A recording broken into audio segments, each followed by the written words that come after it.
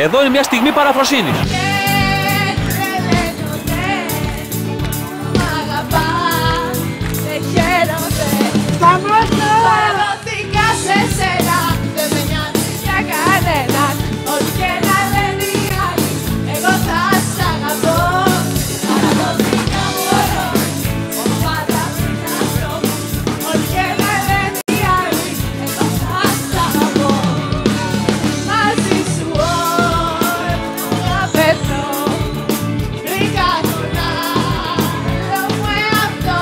Θα σε δω καμιά με το σφυρί στο κεφάλι.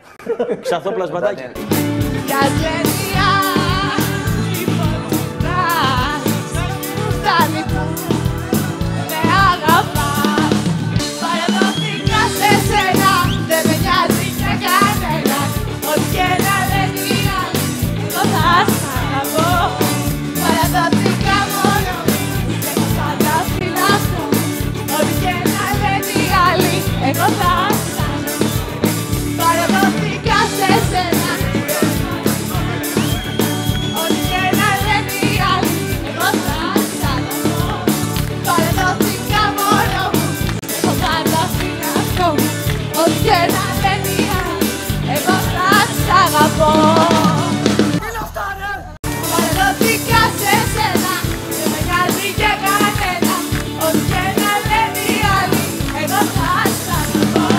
Νομίζω δεν βρέθηκε ποτέ με τον τόνο Είχατε μαλώσει, τι;